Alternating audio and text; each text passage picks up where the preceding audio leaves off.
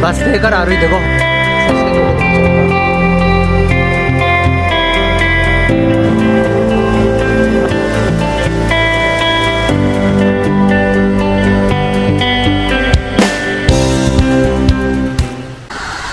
新店からバスに乗ってピンリンというところに来ました。ここは茶畑が有名なところです。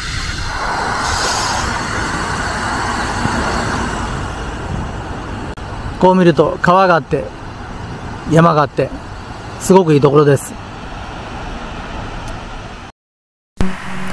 台北市内からは MRT で新店に行ってそこからバスに乗り換えてピンリンに来ます。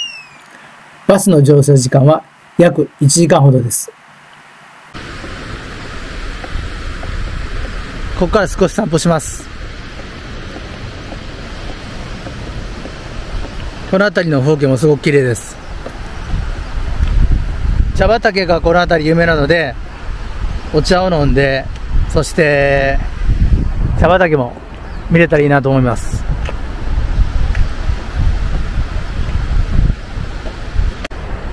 じゃあ歩いていきます。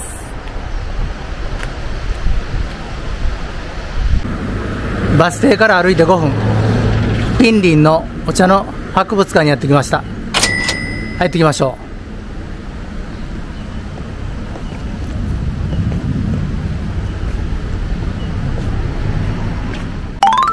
ここはお茶を作る工程を説明しているところです。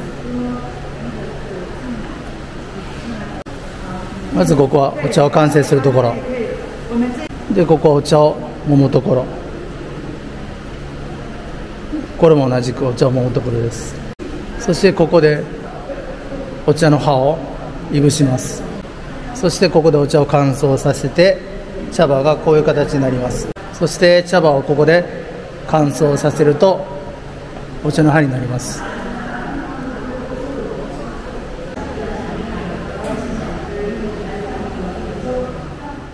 他にもここには茶器を売ってます。とてもおしゃれなものがあります。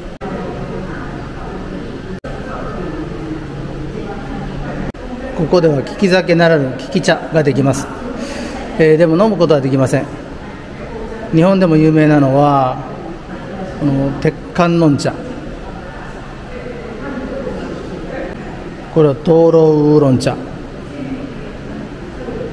で楊貴妃のウーロン茶。蜂蜜の香りの紅茶。日本では見ないお茶もたくさんあります。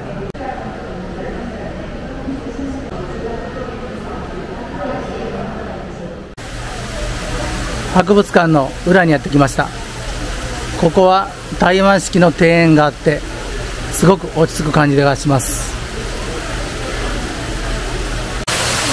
人工ですけれども滝があってすごくいい雰囲気が出てます。この辺りは台湾のおばさんたちがおしゃべりに講じてます。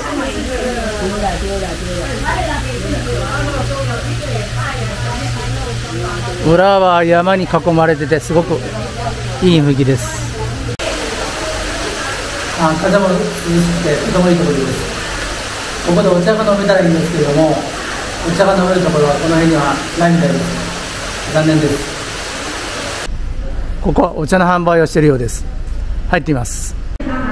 とってもおしゃれな雰囲気です。どんなお茶が売ってるのか見ていきましょう。こちらで採れた蜂蜜茶。これは20パック入ってて350元です。これはウーロン茶の一種。これも350元。これもピンにこの辺で採れたお茶です。15パック入っていて300元してます。おしゃれなパッケージに入ったお茶が売ってます。だいたい値段は300から600元してます。ここはお茶の博物館です。お茶のいろんなものが展示してます。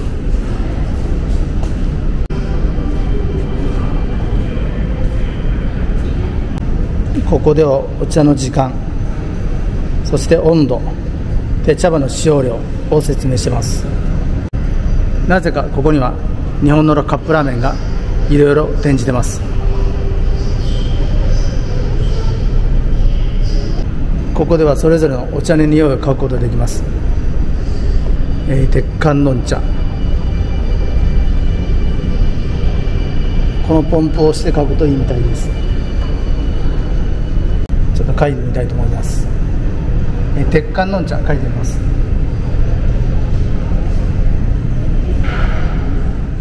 すごくいい香りがします。ここはいろいろと漬けたものが見られます。この辺りはお茶を漬けたもの。でここ梅を漬けたもの。ここは高麗人参。でここは魚を漬けたもの。これはネズミを漬けたものまであります。ちょっとこれ怖いですね。お茶の博物館で紹介してもらってピンリン茶荘というところにやってきました。ここでお茶を飲んでいきたいと思います。你好这里可以喝茶吗可以，你要是什么茶？はいこれご主人に紹介してもらいました。ミーシャン茶といってすごくこれは香りのいいものです这是平顶的平林的蜜香茶吗？蜜香，这个是最顶级的，只采一个心。啊，这是熏茶吗？红茶，红茶吗？哎，对，black tea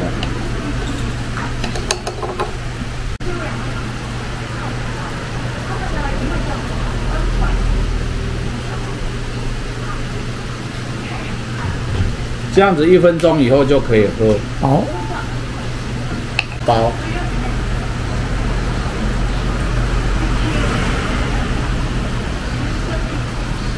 要等一分钟吗？一分钟要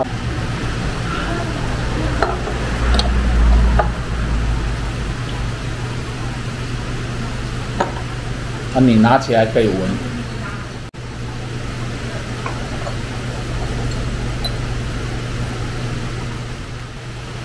うん、これを香ってみるとすごくいい香りがします。じゃあご主人に入れてもらったお茶を飲んでみたいと思います。ミーホン茶っていう蜂蜜の香りのするものです。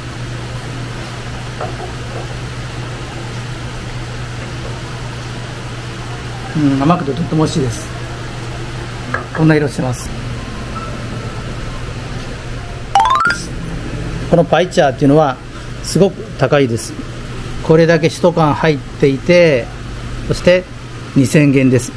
大体1万円近くします。高級なお茶です。あーご主人に珍しいパイ茶、白いお茶飲みしてもらいました。那这是上一年做的东方美人，おおうんすごく柔らかいです。で、こちらの方は東方美人だそうです。東ファンメレン。对，こちらお茶屋さんなのでいろんな種類のお茶が売ってます。このパオ茶っていうのがこちらでは有名なようです。他にもいろんな種類のお茶があります。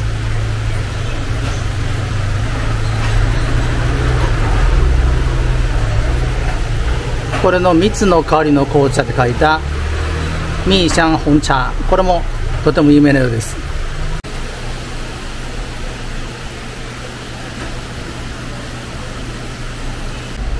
赤玉紅茶これも台湾でとても有名な紅茶です。これは 75g で500元。だいたい2500円してます。でこれが入れてもらった蜂蜜茶です。これは1缶で500元します。那就是泡冲茶是不是乌龙茶？不是绿茶。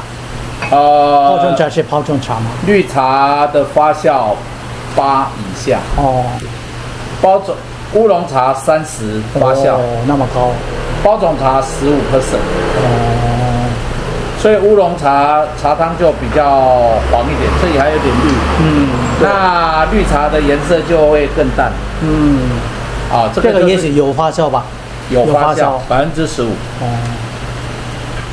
このように見ると色の違い一目瞭然ですこちらの薄い方がパオ茶というもので 発酵度数が15度。